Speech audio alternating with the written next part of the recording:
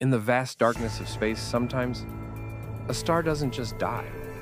It explodes with more energy than our sun will produce in its entire lifetime. This is a supernova. Billions of years ago, a giant star lived its life, burning bright, fusing elements, giving light to surrounding worlds. But deep inside, pressure was building, a silent countdown to destruction. Eventually, the star could no longer hold itself together.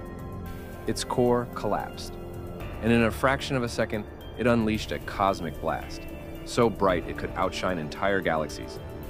But here's the twist. In that chaos, something incredible happened. That explosion created gold, iron, even the calcium in your bones.